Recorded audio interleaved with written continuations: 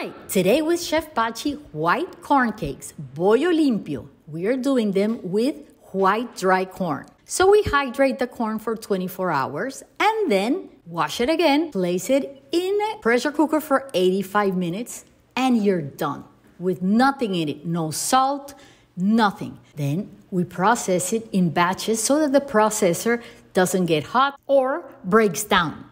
Now we're gonna take all of those pieces that we processed, put them together with a little bit of butter and salt and some cheese that I had left over.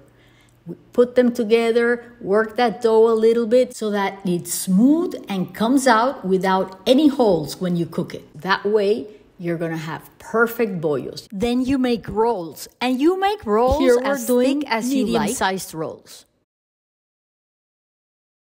We eat them everywhere. It's a street food that we love to have anytime with butifarra from my city, Barranquilla.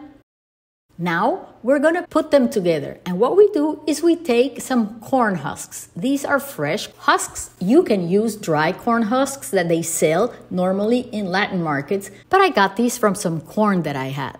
You put a bottom piece of corn husk, then you crisscross one in the bottom, then you cover it, and then you tie it. That way, the bottom of the rolls is also covered, and the water's not gonna go in through there. Believe me, it doesn't go in, and they come out amazing. Just tie them and put them on the side. You have both sides of the corn husks put together. You turn the top, fold it, and tie each one of the bollos.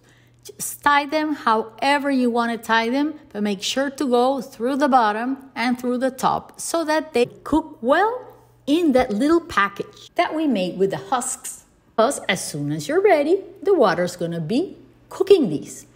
Now that we have all our bollos or bollo limpio ready, we're gonna go to the hot boiling water, add some salt, and place our bollos here. We are going to cook them for about 45 minutes because these are thicker. If they're thinner, you go for 30 minutes. You can make them the size you want. Check them out. They are beautiful. Now we're gonna wait for them to cool down. I actually waited a lot until they're completely cool. And then you remove the husks. Look at them. They are beautiful.